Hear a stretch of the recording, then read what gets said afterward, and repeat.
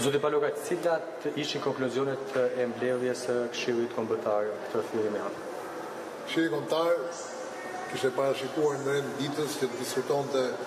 lidhur me situatën politike në vend dhe aksionin opozitar në ditët në vazhdim.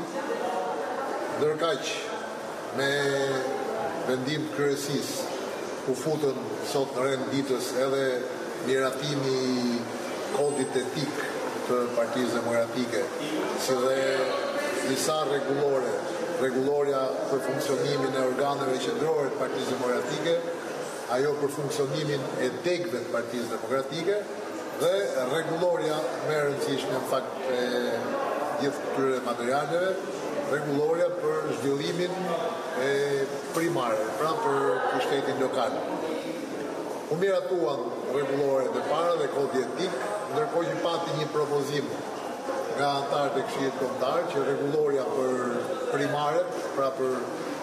zgjedhjen e për zgjedhjen e kandidaturave për pushtetin lokal të shtyhet në një kohë tjetër me qëllim që anëtarët të kenë mundësi të njihen më më mirë me me përmbajtjen e kësaj rregullore dhe pastaj edhe për diskutimet që do të bëhen në mbledhjen e ardhshme të Këshillit Kombëtar, e cila u vendos të jetë të shtunën këtë të shtunë pra, meqenë se statuti parashikon Paktën pesë ditë diferencë me njoftimin. Pati diskutime lidhur me qëndrimet që duhet të mbajë Partia Demokratike apo atë që ju thashë aksionin opozitar të Partisë Demokratike dhe u ra në dakordësi, pra u arrit konkluzioni që sa më shpejt Duhet të organizohet jo vetëm protesta, por një shumëllojshmëri aktesh dhe aksionesh opozitare, përfshi këtu grevat e grupimeve më të mëdha sociale në Shqipëri, të cilat sigurisht do të kontaktohen prej nesh, duke filluar nga sindikatat, që funksionojnë në Shqipëri, me gjithë grupimet e tjera siç janë mësuesit, mjekët, infermierët, pra gjithë grupimet e mëdha, të cilat kanë probleme